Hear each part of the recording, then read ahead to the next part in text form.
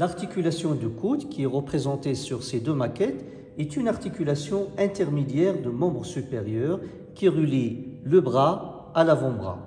Le coude est un ensemble de trois articulations à l'intérieur d'une même capsule articulaire.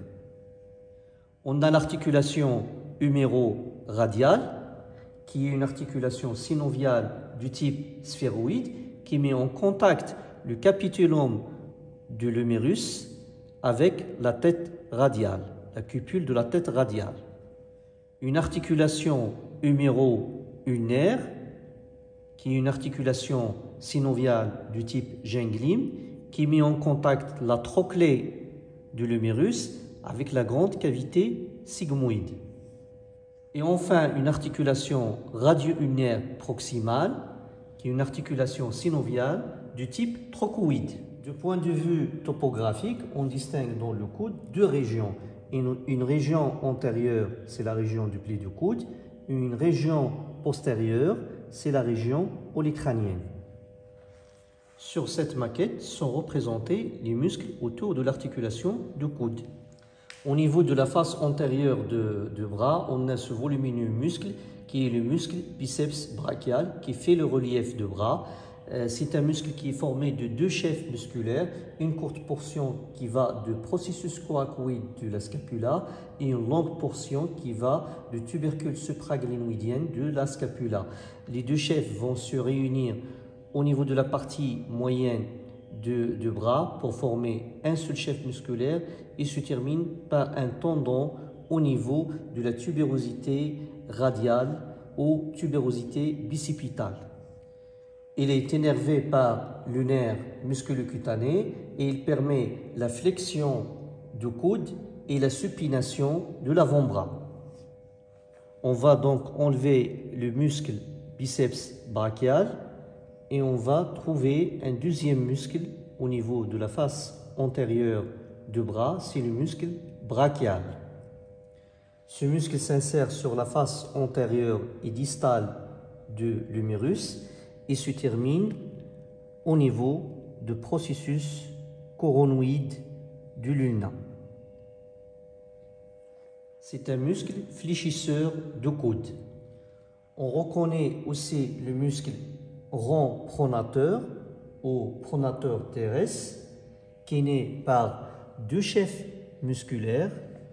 On a un chef huméral qui est né au niveau de la face ventrale de l'épicondyle médial et un chef unaire, on le voit ici sur la maquette, au niveau du processus coronoïde du luna. Son corps musculaire et oblique en bas et en dehors et se termine au niveau de la face latérale, au niveau de la face latérale du tiers moyen du radius. Ce muscle est énervé par le nerf médian et il permet la pronation de l'avant-bras. Alors pour rappel, le muscle pronateur terrestre fait partie du muscle épitrocléen et occupe le plan superficiel de la loge antérieure de l'avant-bras. Parmi ces muscles épitrocléens qui vont prendre insertion sur l'épétroclé ou l'épicondyle médial par un tendon commun, en plus du muscle pronateur terrestre, on a le muscle flexor carpi radialis, le muscle palmaris longus et le muscle flexor carpi ulnaris. Et ce muscle-là, le muscle pronateur terrestre, est le muscle le plus externe du muscle épitrocléen.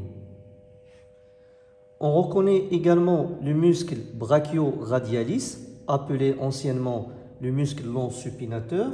C'est un muscle qui appartient au plan latéral du muscle de l'avant-bras.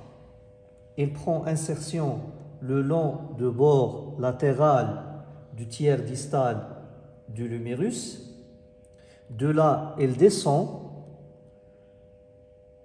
à la face latérale de l'avant-bras et se termine par un tendon au niveau de la styloïde radiale. Ce muscle est énervé par le nerf radial et il est fléchisseur de coude. On a également le muscle supinateur, anciennement appelé muscle court supinateur. C'est un muscle euh, qui se trouve en deux plans avec euh, du chef, euh, le plan profond représenté par le chef ulnaire qui va s'insérer sur l'ulna et des fibres qui vont se diriger en dehors, contournent le col du radius pour se terminer à la face antérieure du radius. Et un chef huméral qui représente le plan superficiel et qui prend insertion au niveau de l'épicondyle latéral et qui va recouvrir partiellement le chef ulnaire et qui se termine aussi sur la face antérieure du radius. Un élément important, c'est que entre les deux chefs superficiels et profonds du muscle supinateur, il y a passage de la branche postérieure du nerf radial, la branche motrice du nerf radial. Pour rappel, ce muscle, muscle supinateur, fait partie de la loge latérale de l'avant-bras dans le groupe du muscle dit du muscle Le groupe du muscle épicondylien ou épicondylien latéraux est composé de quatre muscles. On a le muscle supinateur qu'on a décrit, le muscle brachioradialis, et en plus de ces deux muscles, on voit sur cette maquette l'origine de deux autres muscles qui font partie de ce groupe. Le muscle ou l'origine du muscle long extenseur radial du carpe au muscle premier radial et ici l'origine du muscle court extenseur radial du carpe ou muscle deuxième radial. On voit également représenté sur cette maquette le muscle carré pronateur qui va de la face antérieure et distale du luna avec des fibres transversales et parallèles vers la face antérieure et distale de radius.